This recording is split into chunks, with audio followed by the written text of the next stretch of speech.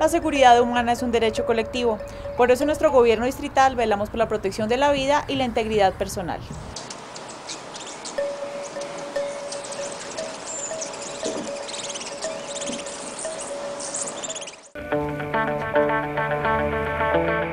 Mi nombre es Alison Giselle, eh, yo vivo en la localidad de Ciudad Bolívar, en el barrio La Arabia, tengo 14 años.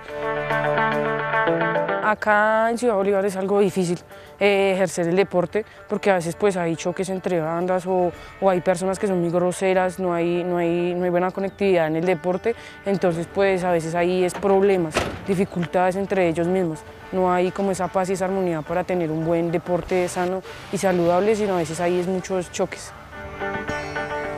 La cancha básicamente antes era tierra, solo polvo, no teníamos exactamente la cancha como tal en buen estado. Ahora ya todo cambió.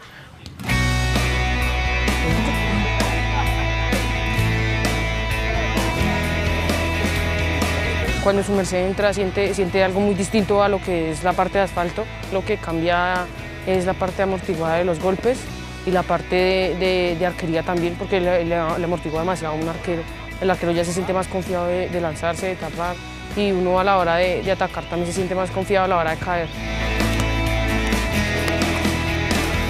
Alrededor de 30 40 muchachos que se benefician de la cancha y del, y del, establecimiento como tal, porque no todos tienen la fortuna de entrar gratis a una cancha sintética, ya que pues eso cuesta bastante dinero.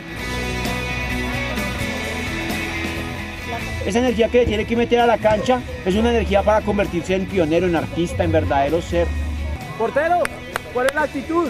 Esta comunidad ha recibido eh, el tema de mejoramiento de sus espacios en una forma formidable puesto que, eh, como lo vemos, tienen eh, espacios óptimos ¿cierto? para el aprendizaje eh, y no solamente para el aprendizaje deportivo, sino también para el aprendizaje eh, en valores, eh, en cómo hacer las cosas bien para su vida, en forjarse en un proyecto de vida futuro. Cambia absolutamente todo, tanto infraestructura como comunidad, como convivencia, todo. Secretaría de Gobierno, Alcaldía Mayor, Bogotá Humana.